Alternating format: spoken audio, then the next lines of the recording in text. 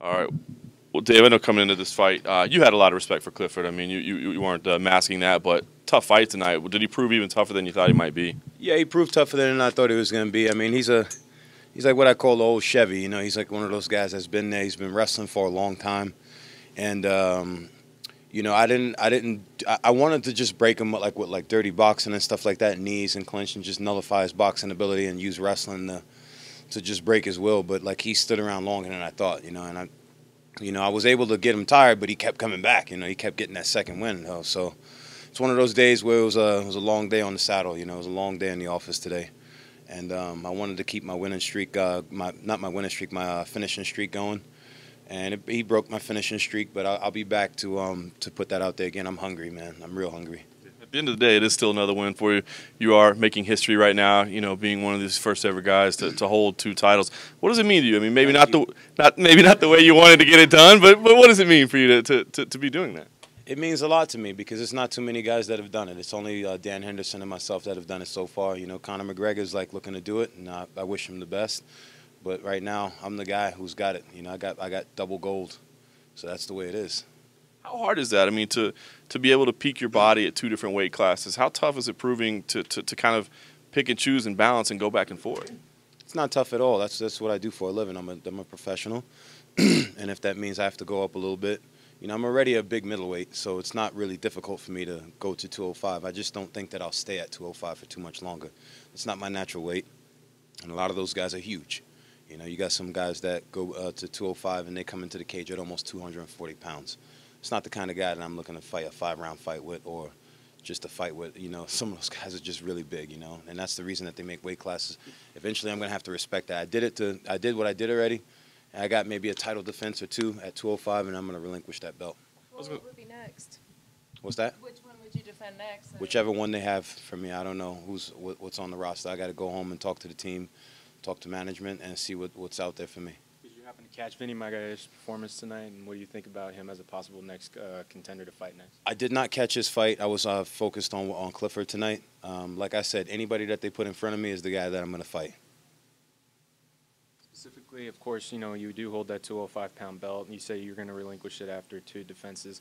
But uh, do you feel like um, that if that changes at some point because if some guys bulk up, such as Ben Henderson, who decided to make that permanent change up to welterweight. You know, some guys decide to do that. Has that ever been an option that you've considered? No. No, I fight a lot better. I look better, and um, just a, I just move better at 185. That's my weight. That's like, you know, at 205, I'm just a bigger guy. Like it's, I, I'm, I'm, I'm gaining things, but I'm giving up a lot of stuff that I, a lot of my natural abilities. So I don't think that I'm going to stay there too much longer held a, a size advantage over Clifford. How much did that play into your overall game plan? I didn't even see. I got to go back and look at the tape. Um, I just thought that he was like short and wide. You know what I mean? And I'm like more long and lanky, kind of. You know, so um, I know I was just longer than him, and I just had the experience advantage on him. I've I've fought these championship fights already before. You know, I've uh, I've been there with Yushin, you know, who's a really tough dude. You know, I've been in the championship fight with Jesse Taylor. I've been in championship fight with Teddy Holder. Um, so this was my fourth championship fight, and I just knew it was like another day in the office. I had to go in there and do what I had to do. Have you got it through your head now that you're not going to go back to construction work in New York? No, it's too cold, man. It's too cold. But I mean, you've re- you, you've, you've resolved the fact that that's the end of it for you. That's the end of it. It's I'm just so tired of that. Like I love the uh, guys in 580 are the best, local 40 guys, but my guys are 580. Um, and I love all those guys, man. They they're they're one of the reasons why New York looks so beautiful. They wrap all that skin around those big tall buildings, but it's a it's a rough gig, man. And and like you know, this is a rough gig. So I don't know which one is like uh, rougher, but I can't do that anymore. That this is this is what I love to do. I love martial arts, so this is what I'm going to dedicate myself to until I can't do it anymore. You go back and see them. I talk to them on like social media. I talk to them uh, via phone, stuff like that. They always wish me good luck. Um, you know, George from 580, all the, all the guys there. You know, I remember Dennis Lasardi, he got me in the union. Um, and he just kept telling me to keep calling back, keep calling back, and I, and I finally got in the union. But um, as soon as I got in, maybe a few years later, like five or six years later, I, I left. And I, I, I, left to pursue this dream, and, and this is what I'm doing now. Mixed martial arts has finally come to New York. How much would it mean to you to be able to fight on the first World Series of card there? It would mean a lot, you know. Um, I, I, I really would like to fight on the first uh, World Series of Fighting card. I think that because I w- I'll be able to bring a huge following. Um, Bruce, please, please put me on this thing. Uh, uh, yeah, but I, I, it would mean the world to me to be able to fight in the Barclay, the Mat- M- MSG. Uh, my brothers fought there, you know, so just so many great events, so, so many great things have happened there. I'd like to be, you know, one of those guys that like, you know, wows the crowd in New York City and just makes people go crazy. You know, I'd, I'd love to do that. I mean, is that one of those things that you kind of remember for the rest of your life? I mean, winning a title, defending a title is a big deal. Being able to actually compete at Barclays, Madison Square Garden, someplace like that. I mean, where does that rank as far as mixed martial arts goals? That's a cherry on top, man. That's like huge.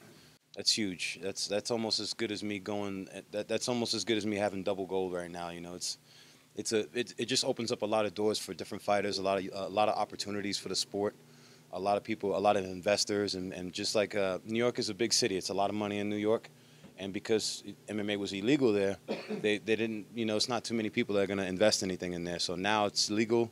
So it opens up opportunities for like gyms, you know, just a, a bunch of stuff because it's going to have to compensate the sport now. How many times do you think you could fight in 2016, considering that you have two titles that you need to defend? I'd like to fight two more times. I'd like to fight two more times, possibly three. They'll probably put me on the saddle for two. But um, I'd like to fight two more times for sure. I can do it. I, I'm injury free. I just came back from a shoulder surgery and a knee surgery.